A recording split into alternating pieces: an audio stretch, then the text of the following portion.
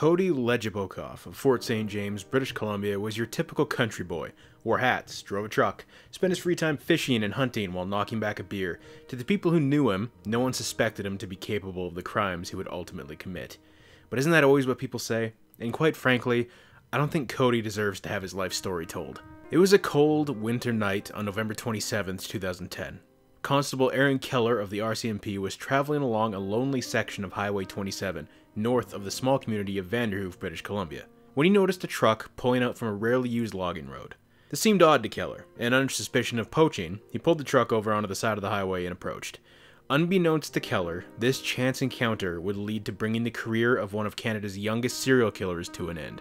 But, before we can get into the crime that ultimately resulted in Cody's arrest, we should go back to where it all began. On the early morning of October 27, 2009, an entire year before the events of November 27th, the mutilated body of a woman was found just off the Otway Road pit along the forested area of Moores Meadow in Prince George, British Columbia.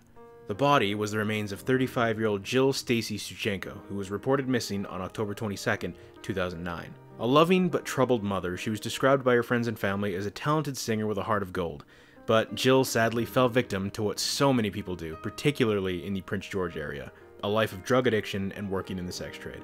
And I personally used to live in that area for many years and have known many people who fell prey to this lifestyle. It is not uncommon. We now jump ahead a year to October 9th, 2010. Police officer Kent McNeil and a partner were following up on a lead on a missing woman that took them to an area known as L.C. Gunn Park, a well known hiking location just east of Prince George, nearly a perfect diagonal line from where Jill's body was found in the gravel pit. While investigating the area, the officers noted the strong smell of decay in the air, but originally passed it off as garbage visibly littered around the park. After searching the rest of L.C. Gunn, Officer McNeil, with the help of a police dog and its handler, began to follow the smell of rot until they stumbled upon the corpse of 35 year old Cynthia Maas. Just like Jill, Cynthia was well loved, but had also fallen prey to the world of drug addiction and prostitution. Now, little details as to the cause of Jill's death were public, but Cynthia was a different story. Cynthia's wounds were horrific. She had been badly beaten to the point that her jaw and her cheekbone were broken. Her throat had been crushed, and a hole was found in her shoulder, which was later determined to have been caused by a picaroon, which is a form of an axe that was found in Cody's apartment with her blood on it. It was also determined by forensics that Cynthia had been dead for a month before she was found. Cody's third presumed victim was 23 year old Natasha Lynn Montgomery, and I say presumed because to this day Natasha has been missing since August of 2010 and her remains have never been found. However, her blood was found throughout Cody's apartment. She was a mother of two, originally from Quesnel, British Columbia, who unfortunately had a story similar to Jill and Cynthia's drug addiction and prostitution. Now, Cody clearly had an MO and seemed to target sex workers who were capable of getting him cocaine and other drugs because he was addicted to that which makes the events of November 27, 2010, a bit of a weird outlier. As Constable Keller approached Cody's pickup that night, he immediately noticed something wasn't right. Cody not only had blood smeared on his face and his chin, but also on his legs and a pool of it at his feet on the driver's mat. Not something you want to see after pulling someone over who just drove out of a desolate logging road in the middle of the night. By this time, another officer had arrived at the scene, and they began searching Cody's truck. In it, they found both a multi tool and a wrench covered in blood, and unfortunately, a child's monkey backpack. Clearly, this was fishy. When asked about all the blood, Cody told the officers he had killed a deer and was stated as saying, and I quote, I'm a redneck, that's what we do for fun. None of this was adding up, but because Cody said that, the officers had a reason to detain him for suspicion of poaching, so he was arrested under the Canada Wildlife Act, and a conservation officer was called to the scene. The conservation officer headed up the road Cody's truck had come from, following the tire tracks in the snow, expecting to come across the remains of a deer, but instead stumbled upon the mutilated body of 15 year old Loren Leslie. Loren was from the small town of Vanderhoof, British Columbia, less than an hour away from Prince George. Now, I lived in Vanderhoof for most of my childhood, so this one hits home to me. Though legally blind in one eye, with only 50% vision in the other, she didn't let that stop her. She was a smart young kid with dreams of becoming a forensic pathologist when she grew up, which is pretty insane for a 15 year old. Like most kids her age, she spent a lot of time on social media, which just so happened to be where she met Cody on the website Nexopia. Eerily, Cody's profile is still viewable on that site as of today. When Leslie's body was found, the scene was absolutely horrific. Her face had been so badly beaten that she was nearly unrecognizable. she'd been stabbed in the neck, and she had been sexually assaulted. Now we come to the trial, and oh boy, was it ever a trial. Cody had every excuse in the book, and his story changed so many times that you'd swear the idiot was trying to write his own choose your own adventure. Originally, he told investigators that he randomly stumbled upon Leslie's body on that logging road and that she'd killed herself. Now, how he would know that she killed herself if he just randomly stumbled across her body in the middle of nowhere? Hmm, doesn't add up.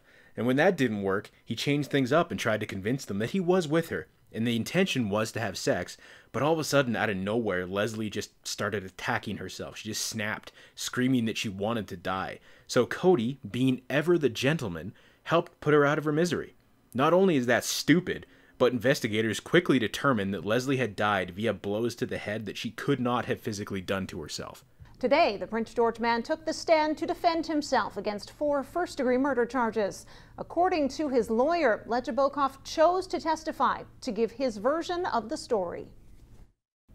The question of whether Cody Legebokoff would defend himself was answered within minutes. His defense lawyer, James Heller, called Legebokoff to the stand. Now, when it came to the murders of Cynthia, Jill, and Natasha, Cody admitted that he was involved, but that he didn't actually kill them. No, no, instead, it was three drug dealers that the women owed money to. They did the killing. Cody just cleaned up the mess. He told the jury he refused to name the killers, only referring to them as X, Y, and Z. Cody claimed it was because snitches in prison don't fare well. But to be honest, I think it was just because Cody was too stupid to think up three names on the spot, and even if he had, he'd likely forget the names or mix up his stories. The jury thought so too, and Cody was sentenced to life in prison without the possibility of parole, which equates to 25 years in Canada, at the Kent Institution, the only maximum security prison in British Columbia, also home to infamous serial killer Robert Pickton. Guilty on all four counts. That makes Cody Allen Legebokoff Canada's youngest serial killer. Just now inside the Prince George Courthouse, Legebokoff didn't flinch when the verdict was read. Meantime, the gallery started, some members of the gallery started to cry. Some family, victims' family members were rubbing each other's backs when the verdict was read. Now, earlier today, the jury heard the cross-examination by the Crown of Cody Legebokoff, and the deliberations just started yesterday. Now, they had several questions last night, and that's why court was called back into session.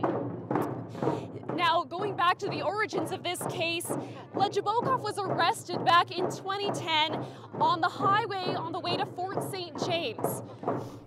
This verdict is now the final chapter in the tragic ending to these women's lives.